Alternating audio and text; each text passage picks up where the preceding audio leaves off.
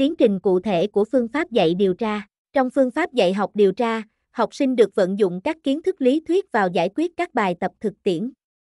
Qua đó, học sinh hiểu rõ thực tế địa phương, từ đó giúp các em thêm yêu quê hương, đất nước. Tiến trình dạy học điều tra gồm các bước sau. Bước 1, xác định mục đích, nội dung, đối tượng điều tra. Bước 2, tổ chức cho học sinh điều tra. Bước 3, tổ chức cho học sinh báo cáo kết quả điều tra. Giáo viên tổ chức và hướng dẫn học sinh tìm hiểu một vấn đề và sau đó dựa trên các thông tin thu thập được tiến hành phân tích, so sánh, khái quát để rút ra kết luận, nêu ra các giải pháp hoặc kiến nghị, xác định mục đích, nội dung và đối tượng điều tra. Giáo viên định hướng cho học sinh về mục đích của việc điều tra hay nói cách khác phải trả lời câu hỏi, việc khảo sát điều tra nhằm mục đích gì. Nội dung điều tra phải đảm bảo, gắn với chủ đề bài học, phù hợp với trình độ học sinh, không làm mất quá nhiều thời gian của học sinh. Đối tượng điều tra, môi trường tự nhiên và xã hội, nhân dân, học sinh, tổ chức cho học sinh điều tra, tùy theo mục đích, nội dung, tính chất của việc điều tra mà có thể tổ chức cho học sinh tìm hiểu, điều tra theo nhóm hoặc cá nhân,